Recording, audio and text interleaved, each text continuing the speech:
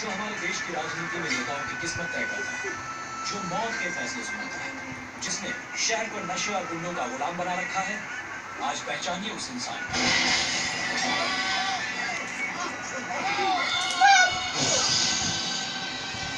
यमराज चलो चलो करना।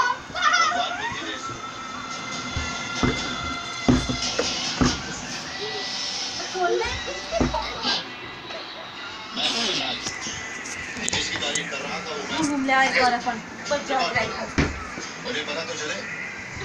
कि वो कौन है और करो। पुलिस व्यापार चक्री बिज़नेस ये सब के सब सिर्फ़ मेरे इशारे पर चलते हैं। मेरे इशारे पर। क्यों?